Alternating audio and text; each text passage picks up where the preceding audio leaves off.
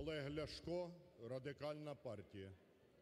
Наша команда не голосує за Закон про Конституційний Суд. Я хочу українцям пояснити, чому ми не голосуємо за цей закон. Сьогодні в складі Конституційного Суду досі на четвертому році після Революції Гідності працює шестеро суддів, які в 2010 році незаконно скасували Конституцію, допомогли Януковичу узурпувати владу. Ці судді є суб'єктами кримінального провадження про захоплення влади Януковичем. Однак вони продовжують відправляти так зване правосуддя конституційне, обслуговуючи вже нинішню владу. І мені найбільш прикро, в мене болить серце, коли я бачу, як ці повії, хвойди в мантіях, які обслуговували Януковича, сьогодні з таким же захватом обслуговують нинішню владу.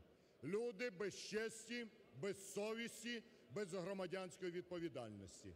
І нам пропонують, щоб ми цим людям повстановлювали по 200, по 300 тисяч зарплати у місяць, потім вони вийдуть на пенсію, будуть отримувати 90% від зарплати. У мене просте питання, чому роботяга в селі і в місті повинен отримувати копійки за свою зарплату, а судді продажні, які обслуговують інтереси влади, повинні отримувати по 300 тисяч.